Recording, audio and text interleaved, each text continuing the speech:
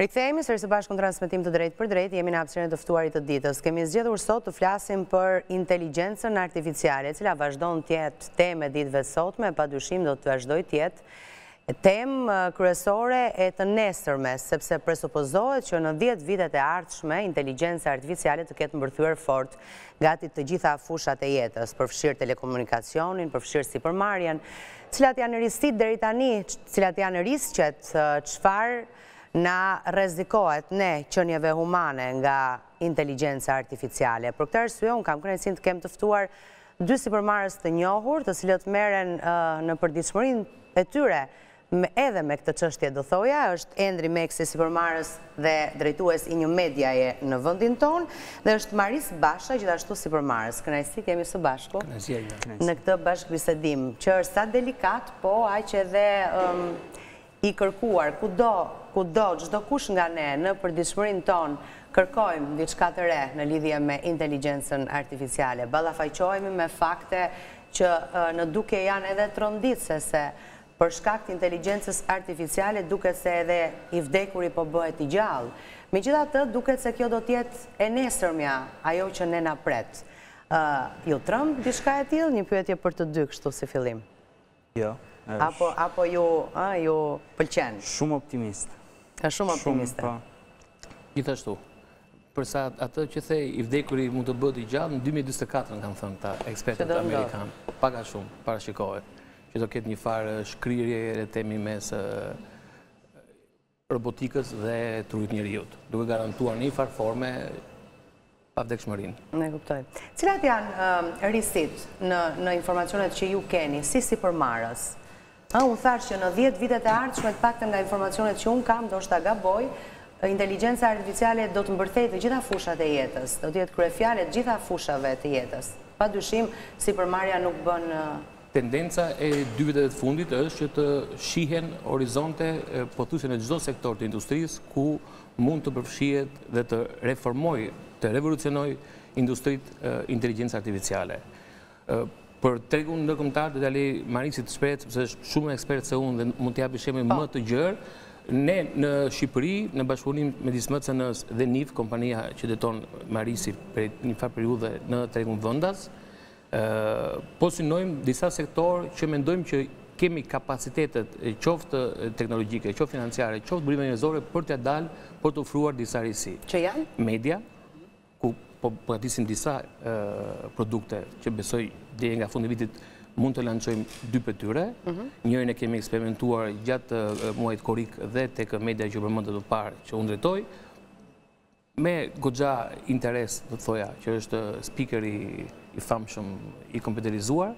Do ta aplikoni domethënë. E kemi aplikuar, ka qenë live disa herë. Kuptohet në një orar paksa jo aq në ndjekje, ora 11 e darkës, edhe për të Atëherë kjo është arsyeja që s'e paskam ndjekur. Po, edhe për të pasur një farë marzhi të vockël sepse esenca e tërë modelit të inteligjencës artificiale është trajnimi i modelit, që do të thotë që më mirë se ta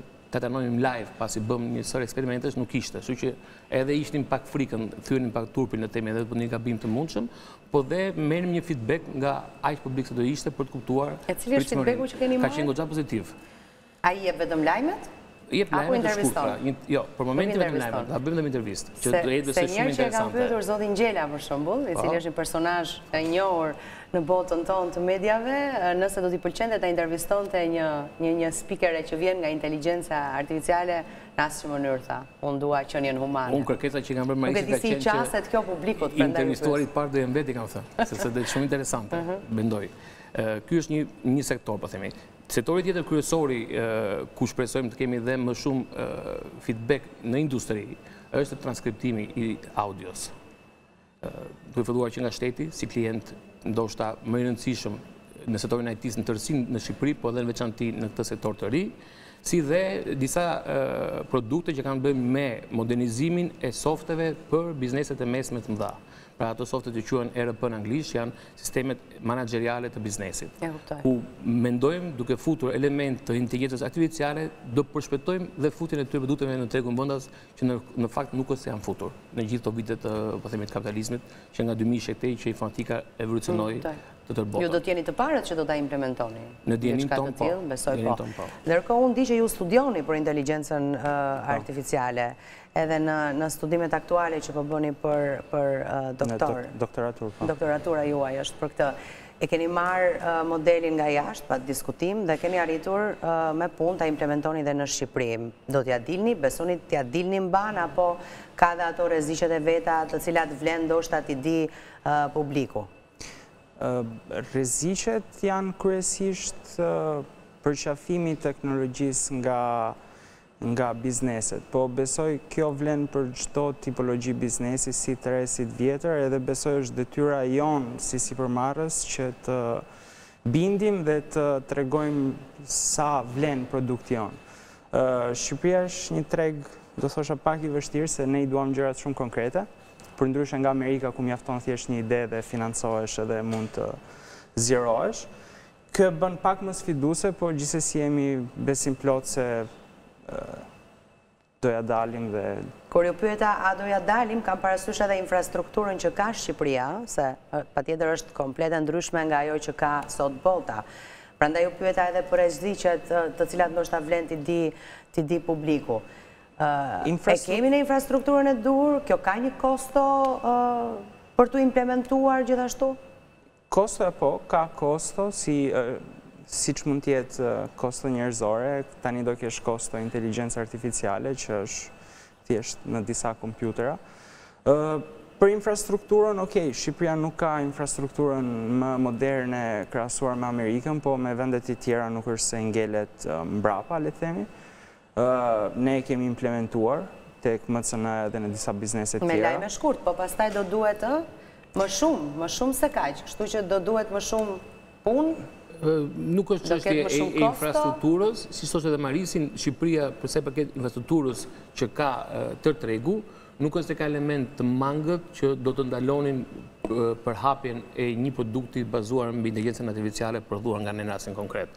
Ajo çka është e vështirë është investimet iniciale që duhen në terma të infrastrukturës hardware, pra kompjuterat që janë të veçantë dhe janë të kushtueshëm, që bëjnë të mundur në një kohë shumë të shkurtër, të shpejtë futjen e disa produkteve, sepse nëse investimi nuk është në një farë përmase të caktuar, koha është më e gjatë, që do të thotë që ikën paksa edhe momenti. Pra kjo është gara dhe sfida. Nëse disa ide në një treg europian apo amerikan, kryesisht amerikan, do të ishin pritur shumë më shpejt dhe të financuara nga palë të treta, bizneset private.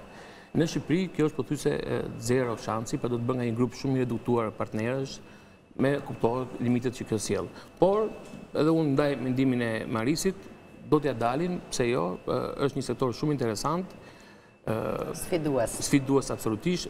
Ka një të mirë që publiku është kurioz, aq sa ndoshta dhe i frikësuar prej idesë së filmave herë pas here që janë trajtuar që nga Terminatori që trajtojnë frikën konstante nga sfida me robotin, aq sa edhe nga lajmet që qarkullojnë tërë kohës në media, nuk ka pothuajse asnjë media online e huaj që Nuk ka një ditë të vetme që mos ketë një lajm që ka të bëjë me inteligjencën artificiale. Sigurisht, patjetër, është temë e ditës. Dhe dhe pse jo, ndoshta momentin që ne do të çajmë paksa akullin për herë të parë në Shqipëri, mund të ketë dhe partnerë të tjerë që bashkohen dhe ofrohen duke bërë një grup më solid në terma dhe financiarë dhe burimesh njerëzore. Tani Endri, kur do mbetemi pa punë ne njerëzit e ekranit, Shumë vonë, shumë vonë, shumë vonë. Humanët, shumë vonë. Shumë vonë.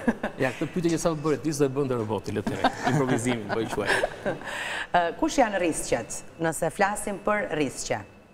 Sot dhe nesër, sepse e nesër mja kjo do të jetë. Rrisku sot është falsifikimi. Domethënë, po arrijmë në kohën kur, siç është treguar edhe me spikeren e emisionit, po bëhet e padallueshme nga nga njerëzit që kjo video dhe ky zë është gjeneruar nga inteligjenca artificiale. Ne jemi duke marrë masa për ta anashkaluar këtë rrisk, duke vendosur copëza kodi që të identifikojmë që një video është gjeneruar apo jo nga inteligjenca artificiale dhe duke reduktuar kush mund të ketë akses në këto teknologji. Ky është një rrisk afatshkurtër. Rrisk afatgjatë mund të them është frika se jemi larg, se mund të zgjohet në thonjza edhe të vlerësojë që nuk ne nuk duhet të jetojmë edhe të na vrasi të gjithëve. Kjo është frikë e pabazuar se nuk dihet asgjë. Njerëzit nuk ia kanë idenë se si mund të krijohet një sistem i tillë. Çdo gjë që ne shohim sot si inteligjencë artificiale është thjesht një model statistikor shumë shumë i avancuar duke përthithur gjithë informacionin e internetit. E krijuar nga njeriu në fund të ditës, apo jo? Po, nuk mund të krijojë diçka që nuk e dimë ne. Por frika afatgjatë është nivel shuarjeje të njerëzimit. Është dhe një frikë tjetër që ka të bëjë me shpejtësinë e komunikimit. Domethënë shpejtësia në të cilën ne komunikojmë dhe arrijmë të nxjerrim output, pra të flasim është në matje një megabit për sekond. AI mund të flasi në dhjetra milionë herë më shpejt në në thonjza. Dhe në lidhje me këtë frikë që do ngelemi shumë mbrapa për shkak se nuk arrijmë dot të komunikojmë shumë shpejt në shpejtësitë që AI mund të komunikojë, besoj do zhvillohen edhe produkte tjera siç janë Çipat, që njerëzit i kanë akoma më shumë frikë, por që ato do kthehen në një domosdoshmëri. Këto janë rreziqet në afatgjatë, besoj. Faktikisht për çipat janë duke ndodhur tani. Domethënë sot ka është një person në Amerikë, dy madje, të cilët arrijnë të luajnë lojëra me mendje. kanë një çip të instaluar dhe mund të luajnë online lojëra me mendje dhe janë më të shpejtë në reagim sesa duart, mendja. Përveç kësaj, me çfarë rreziqesh po përballet bota? Sulme kibernetike, rreziqe bërthamore. Te kryesisht luftat, dizinformacioni është rrezik shumë i madh. E kuptoj. Pra, mos shkojmë te spikeri që është me fytyrë, po prodhojmë lajme që nuk janë të vërteta, por që në aparencë duken plotësisht të vërteta. Dhe që do njohuri të avancuara, ndoshta vetë përdorimin e një AI tjetër për të kuptuar që ai lajm nuk ka ndodhur. E kuptoj. Besoj jeni ndeshur apo ende jo, ose do të ndesheni, nuk e di në të ardhmen me konkurrencën, konkurrencën që mund të vijë nga një përplasje mes kompanive informatikës dhe inteligjencës artificiale ose atyre që e bëjnë atë të implementueshme. Besoj është akoma herët. Është akoma herët në Shqipëri? Edhe në Shqipëri, po edhe jashtë. Inteligjenca artificiale po përdoret siç ishte interneti i viteve 2000, për të dhënë një diferencim, po që le të themi për pak vite, ky diferencim mes bizneseve do të jetë pothuajse i shuajtur, se të tërë bizneset do kenë mundësi në një mënyrë a tjetrën të pajisen, le të themi. Ajo çka ne po tentojmë të bëjmë është t'i mundësojmë bizneset vendase të pajisen dhe ato jo shumë vonë kundrejt konkurrentëve që kanë në Europë apo tutje, në mënyrë që edhe të kenë benefite të drejtpërdrejta, të menjëhershme, po pse jo, ato që janë më të shkathët për të kapur, le të themi, këtë tren, benefitojnë dhe në një farë marzhi rritje kundrejt konkurrentëve dhe vendas. Mm. duke pasur parasysh që ndoshta jo të tërë do ta kuptojnë apo do ta ndjejnë nevojën për këtë hap modernizimi. E kuptoj. Po jo, jo vetë ne si kompani IT kundrejt të tjerëve, sepse ka kohë, le të themi, për të arritur në atë nivel të sofistikimit mes palëve që të druhemi. Ju si sipërmarrës edhe si drejtues i një medie në vend dhe si njeri pasionant edhe për ta bërë të implementueshme inteligjencën artificiale në median që drejtoni, e keni bërë dhe do ta thelloni edhe më shumë thatë në të ardhmen. Çfarë rreziqesh do të listonit personalisht? Po për shembull në një hap të parë do gjykoja demoralizimin e stafit, sepse do kri... Do mbeteshin pa punë. Jo, do mendonin se do të mbeteshin pa punë. Po, do ketë një prerje në thonjza ashtu të gjunjëve, po quajmë, sepse do duket sikur është me qëllim, nuk është aspak e tillë. Ideja është që tërë puna e ekipit e grupit të përshpejtohet dhe të automatizohen ato pjesë që kanë hapësirë për të ndodhur diçka e tillë, po aspak për të zëvendësuar njeriun. Dhe në optikën time në asnjë lloj skenari. Roli i gazetarit është totalisht i pashmangshëm, i pandryshueshëm, i pazëvendësueshëm. Ai i terrenit apo ai i studios? Të dy, të dy absolutisht. Por përse jo, t'i japim mjete informatike që ta ndihmojnë. Pra atë çka solli Word-i, Excel-i, databazat këtu e njëzet e pesë vite, tridhjetë vite e kusur më parë, pse mos të japim një hov të ri në përpunimin e teksteve më të shpejtë, në reagime të sjelljeve të tyre nga ana e kompjuterit duke plotësuar pjesë të tekstave që ata shkruajnë, në korrigjimin automatik, në transkriptimin. Një ndër produktet që do kemi, besoj, ndoshta që në ditët e para të shtatorit gati, do të jetë transkriptimi i soneve live, pra që mundësojnë dhe hedhjen e transkriptimeve në YouTube pranë videove që hidhen, po pse jo dhe të ndërfaqësohen në web për të mundësuar gati në thonjëza zbardhjen, atë që çka ne, besoj e dini, vuajnë mm, tërë kohës duke xhiruar nga redaksia në redaksi, ma kalo pak tekstin, pse jo e bën një pjesë e tretë, Fatmirësisht nuk është në garë me ne, nuk është as konkurrent, pra thjesht është një tool, si një instrument që na ndihmon dhe gazetari mos merret me zbardhjen, por të merret me përshtatjen e saj për të nxjerrë thelbin e lajmit që dëshiron të vërë në dukje nga një intervistë po themi. Në këtë optikë, që nuk shoh realisht risk përveç se atij që sapo përmenda pra dhe demoralizimit, sepse kjo reklama që është bërë e AI-t, inteligjencës artificiale, gjithë këto vitet e fundit, që nga Ai momenti i sherrit që ndodhi te OpenAI, ku dhe Mira Murati, shqiptarja që na ka bërë paksa krenarë në Amerikë, ishte person kyç në atë debatin e atyre ditëve, që nga ai moment e tutje i tërë tregu pati një farë zierjeje, sepse dhe vlerat në bursë të OpenAI-t vetë u rritën goxha pas bashkimit që u rikthye Sam Altman, kështu që në gjithë këtë moment lajmet janë aty, e thamë dhe më parë, pothuajse çdo ditë ka lajme të reja në tregun e informatikës bëhet fjalë, ka pafund, po dhe në tregun Jo informatik, pra në mediat tipike të Europës apo të Amerikës, po dhe të Shqipërisë, përmenden tërë kohës teorisira, kështu që duket sikur është armiku i përbashkët që po ka një synim. Nuk ka asnjë synim, është thjesht një modernizim që nga epoka e revolucionit anglez të makinës me avull e deri më sot njeriu këtë ka bërë. Mundohet të gjejë instrumente që përmirësojnë radhën e punës. E kuptoj. Do ta filloni me edicion lajmesh të mirëfilltë, më të gjatë se ç'e bëni, besoj. Shpresoj, shpresoj. Pastaj do të vazhdoni me emisione? Jo, absolutisht jo. Me debate? Jo, jo, jo, në optikën time jo njëherë. Edhe sikur Marisi të këmbëngulë që jemi gati, jo, jo. sepse i heq do thoja unë atë lezetin. Por, por, një AI që intervistonte do ishte shumë interesante, për ta parë çfarë ndodh. Sidomos te aspekti i improvizimit të pyetjeve. Për shembull me zotin Gjela, do të ishte një kryevepër do thoja. Nëse do të pranonte, se ishte shumë... Që s'do duhej humbur. E vërtetë. AI mund të shkelë linjën editoriale, po themi, dhe të kalojë ca limite që janë dhënë porosi, sepse nuk i kupton që bëri gabim. E kuptoj. Por është një aspekt interesant. Deri ku e shikoni të përhapur inteligjencën artificiale në të ardhmen? Çdo fushë? Siç interneti sot është paimagjinueshëm të ketë një fushë ku nuk përdoret internet, AI do jetë akoma më shumë, akoma më shpejt. Nuk besoj se do ngeli fushë pa përdorimin e AI-t, sepse ajo çfarë ndodh është thjesht ulja drastike e çmimit të aksesimit të inteligjencës, që ka qenë historikisht ekskluzive për njerëzit, tani po e marrin edhe kompjutrat avash avash. Ajo që do ndodhi sipas meje është njerëzit do kenë shumë kohë për të bërë punë më kuptimplota, punë që as s'i mendojnë dot se do ekzistojnë tani, siç nuk mendonin para dhjetë vitesh blogerët ose ata që merreshin me YouTube ose portalet online, dukej si diçka e pathyeshme bota e medias nga televizori. E njëjta gjë do vijë dhe me AI-në. do shkaktojë shumë eficiencë në shumë kohë të shkurtër.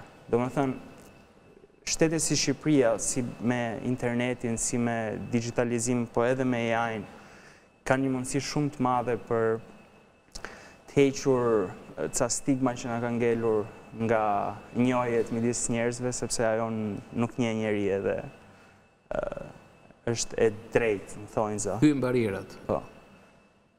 Po në rivalitetin gjeopolitik e ushtarak, si e shikoni inteligjencën artificiale? Besoj se për momentin Shqipëria është pas. Nuk di të, pra ta, nuk kam njohuri të ketë ndonjë investim në këtë sens. Kjo nisma e re e strukturës të prodhimit të armëve, pa dyshim shfaq një, qartazi, një qëllim të qeverisës shqiptare për të qenë më aktive në këtë fushë, në këtë sektor. Pse jo, ne do ta mirëprisnim çdo lloj interesimi nga ana e qeverisë shqiptare për të parë hapësirat ku AI mund të kontribuojë në përmirësimin e procedurave të sigurisë, po themi të perimetrit të vendit, të kufirit, por në veçanti te pjesa informatike, pra pjesa e mbrojtjes kibernetike, që AI shkëlqen në këtë sektor, sidomos nga fakti që bëhet fjalë për të përpunuar në kohë shumë të shpejtë vëllime të frikshme, të mëdhaja të dhënash, po dhe në elemente siç është spionazhi, shërbimet sekrete e të tjera me radhë, ku përsëri ke nevojë për përpunime të informacionit shumë të shpejtë. Transkriptimi, për shembull, është një element që mund të bëjë shumë rol në këto sektore. Pra nga audio kalohet në tekst dhe përpunimi i tekstit është shumë më i shpejtë me mjetet që ekzistojnë sot se përpunimi i audios, pra për të mundësuar nxjerrjen e informacionit me vlerë në një kohë shumë të shpejtë dhe jo ta vëresh muaj më vonë pasi nuk të duhet më. E kuptoj. Për shembull tek MCN MCN-a ka në kontekstin e medias, kemi zhvilluar një sistem ku çdo media në Shqipëri transkriptohet edhe nxirren lajme, njoftime që shiko te kjo te ky televizion. Në kohë të shpejtë, sa të shpejtë? Pothuajse në sekondë. Në sekondë. Në kohë që ndodh. Pra procesimi i audios, për të ta dhënë si ide, një fajl tridhjetë minutësh i marrë në YouTube i shkarkuar direkt live, përpunohet transkriptimi i tij është gati në gjirin e trembëdhjetë katërmbëdhjetë sekondave. Trembëdhjetë, katërmbëdhjetë sekonda. Me pak resurse kompjuterike, pra pa ekzagjeruar në investimin e hardware-it, po themi.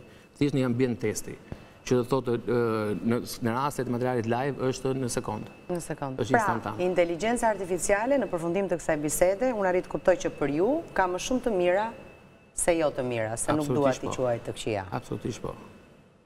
Pra të paktën në qëllimin tonë, s'është e keqe, pastaj ça ndodh deri nga 2050, nuk kemi gjendje ta parashikojmë, do ishte kot të guxonim, të fantazonim në atë lëmë. Unë ju falenderoj për informacionin shumë interesant që na përcollët në studio, ndoshta jo të gjithë e dinim, dhe ju uroj shumë suksese në punën tuaj. Faleminderit shumë, faleminderit për prezencën.